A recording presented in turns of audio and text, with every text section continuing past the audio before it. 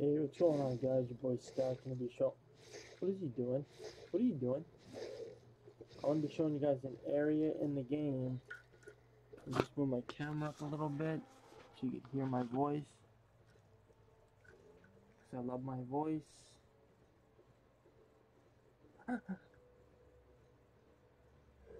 gonna be showing you an area on where to farm if you're brand new, how to get a little bit more silver in your arsenal.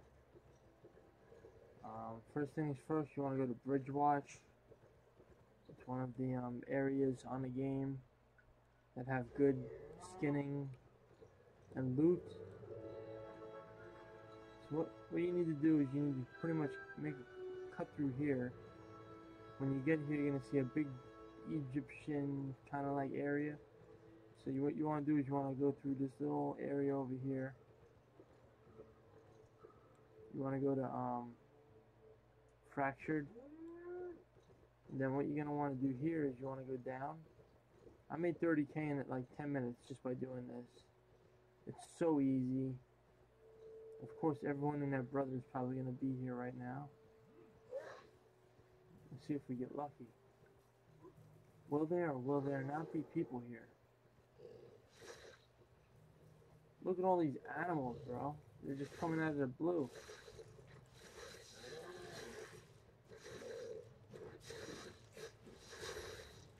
It's really, you know, a simplistic way to get silver. If you're lost like me and you don't know where to go, you've come to the right place.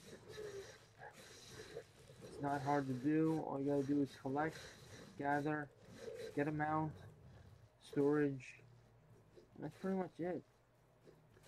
Hopefully this helped you guys. Keep in mind you want to go all the way over here. Where it looks like Oscar, Oscar the Grouch. It's like an outline of a face. So you, you're going to want to go there and then you know you're in the right area when you start seeing like a hundred freaking deer and like ostriches roaming around. And I would suggest if you're going to do anything, really, get the Thetford Cape. It has a good ability to it where it can zap a mob and bring them to you. So you don't have to run around like uh, a chicken without a head.